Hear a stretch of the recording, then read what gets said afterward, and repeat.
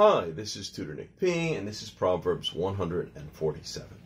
Uh, the proverb today is all's well that ends well. So when we say all's, th- this comes from Old Middle English.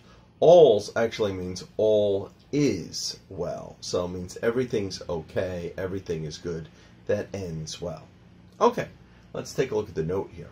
Uh, the proverb basically means uh, as long as a situation ends well or in a positive way, don't worry about the difficulties you encountered along the way. Yeah, forget about it. Uh, the important part is that it ended well.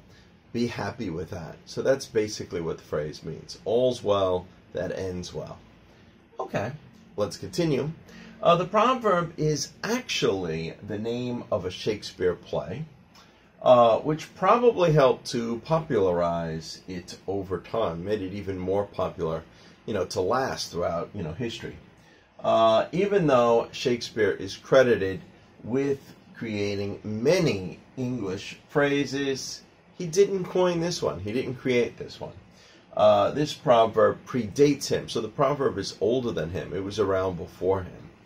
Uh, the earliest citing comes from the 13th century writing the Proverbs of Hendying. Uh, so it was it was probably an old proverb around even then. So it might even be earlier than that, but that's the earliest sighting we can find on it. Okay, and we have um, we have two examples of how we you might hear it used today. All right, look at number one here. Um, even though you had car trouble and hit traffic along the way, you still got here in time to watch your daughter walk down uh, the aisle, so to get married.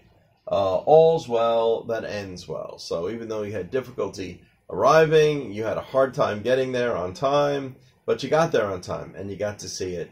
Everything worked out. So all's well that ends well. Okay, let's look at number two here. Um, even though this uh, case had to be appealed to a higher court, uh, at least you got the verdict you hoped for. So, you know, even though you probably had to pay a lot more money, it took a lot more time, you went through some difficulties, but at least you got what you wanted to get. You know, sometimes people do that and they still don't get what they want. Maybe the verdict will still go against them. Uh, so, of course, you could just end it with all's well that ends well, you know. Uh, the final result was good. So, again, don't worry about all the trouble you had in the meantime. Okay, anyway, I hope you got it. I hope it's clear. Thank you for your time. Bye bye.